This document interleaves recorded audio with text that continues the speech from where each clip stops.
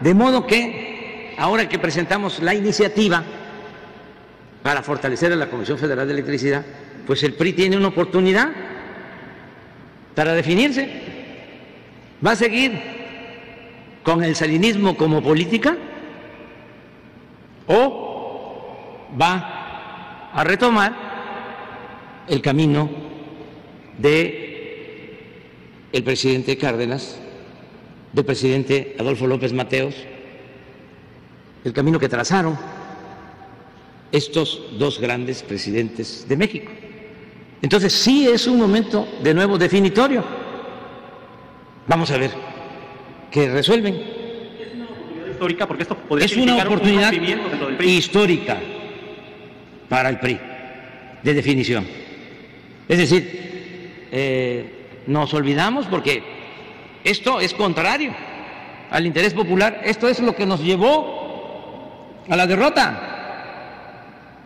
El sarinismo, las privatizaciones, el olvidar al pueblo, el entregarse a las empresas particulares, sobre todo extranjeras, el aliarse con los conservadores. Les estoy diciendo de que el PAN surgió para oponerse a la política popular y patriótica del general Cárdenas.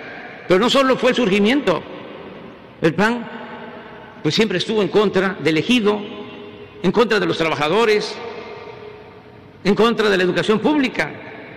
Cuando el presidente López Mateos decidió de que se iban a entregar de manera gratuita los libros en los que nosotros estudiamos en nuestros pueblos, que empezaron a llegar hasta las comunidades más apartadas. Con esos libros nos enseñaron las maestras, los maestros. Bueno, los del PAN se opusieron, llevaron a cabo hasta manifestaciones en contra de los libros de texto, de la educación pública. Por eso me llevo tiempo porque como esto no se sabía, como tenían todo el control de los medios, habían ejidatarios votando por el PAN, maestros votando por el PAN, obreros votando por el PAN, sin saber que se trataba de un partido que defendía los intereses de los potentados.